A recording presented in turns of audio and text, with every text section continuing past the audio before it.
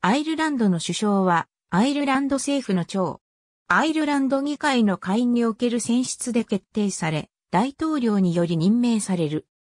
現在は、フィアナ・ホイル、共和党の党首であるミホル・マーティンが、フィナゲール、緑の党との連立合意のもと務めている。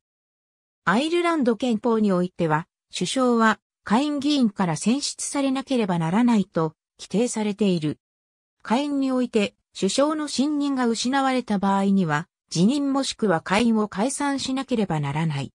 大統領には下院の解散を拒否する権限が与えられているが、これまでのところこの権利を行使した大統領は存在しない。辞任した場合には、後継の首相府が組織されるまで、前職がその任に当たることになっている。首相は政府の閣僚を指名し、議会の承認を得た上で大統領により任命される。首相には閣僚を解任する権利を有する。また、上院の議員のうち7名を指名する権利が与えられている。2013年以降、アイルランドの首相の年俸は18万5350ユーロである。エンダ・ケニーが就任した際に21万4187ユーロから20万ユーロに削減されたが、2013年のハディントン、ロード協定でさらに18万5350ユーロに削減された。2007年に提案された3万8000ユーロの増額は、ブライアン・カウエンが首相になった時に延期され、2008年10月に政府は首相を含む全閣僚の給与を10%削減することを発表した。しかし、自主的な削減であり、給与は名目上は同じままであり、大臣と首相は基本的に給与の10%を拒否した形になる。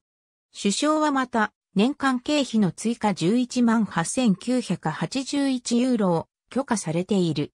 首相の公式官邸はない。2008年にはフェニックスパーク近辺のスチュワーズロジが首相官邸になる憶測が飛び交ったが、公式発表はなく、何の行動も取られていない。1999年に2920万ユーロで政府によって買収されたファームリーの敷地の一部を形成しているが、2005年に公共事業局によって60万ユーロ近くの費用をかけて改装された。バーティア・ハーンは官邸として使用していなかったが、後継者のブライアン・カウエンは時々使用していた。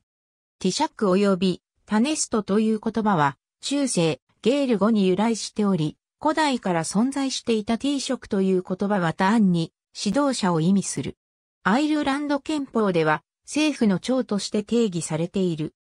1937年にこの称号を導入したエーモンデ・バレラは、ファシストでも独裁者でもなかったが、指導者という意味は、相当、ルーチェ、カウディリョといった当時の独裁者の称号に似たものにしたのではないかと指摘されることもあった。歴史家の中には古代アイルランドにおいて T 色は小王を指しており、タネストは王が何らかの事情により存在しない王国における摂政であったと主張する者もいる。スコットランドゲール語では当時一致は一族の長と訳され、もともとはスコットランドとアイルランドのゲール語で似たような意味を持っていた。ウェールズ語にも似たような言葉、 tywysog が存在する。 Taoiseach の複数形は、 Taoisigh。アイルランド語の an Taoiseach が英語のザ・ティシャックに代わって使用されることもあるが、英語版のアイルランド憲法ではザ・ティシャックと示されている。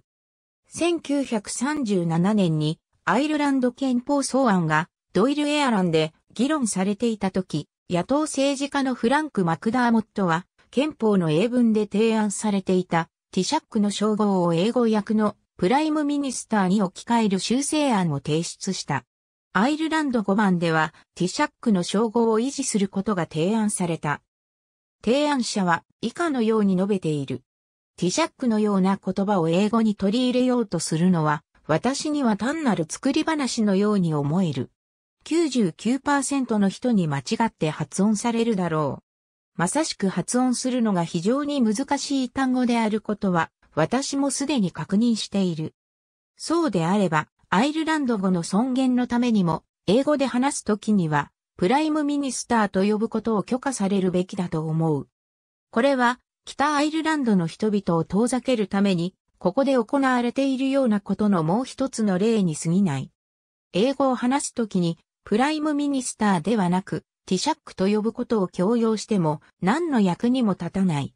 執行評議会の英文で我らは、この言葉の意味を、州長、または、大尉とした。修正案を支持する気にはならないと述べ、ティシャックという言葉を変える必要はないと感じていた。修正案は投票で否決され、最終的に国民投票で採択された称号としてティシャックが含まれることになった。近代的なティシャックは1937年に制定されたアイルランド憲法により規定されている。1922年から1937年まで存在したアイルランド自由国においては、首相は行政評議会議長と呼ばれていた。自由国における首相は、閣僚の解任、会員の解散を行う権利を持たず、現在のティシャックよりも限られた権限しか持たなかった。連立政権が成立した場合には、慣例的に多数党の党首が首相に任命される。この例外として、1948年には連立党からの反対により、多数党であった共和党の党首リチャード・マルコイの代わりに同党のジョン・エイ・コステロが首相に任命された。2010年にはブライアン・カウエンが世界的な金融危機後の非常に不人気な支出削減の真っ只中で新たな選挙が行われるまで首相としての地位を維持したが、フィアナ・フォイル党首としての地位を退き、ミホル・マーティンが後を継ぐことを許可した。1937年の憲法制定以前は、政府の長は行政評議会議長と呼ばれていた。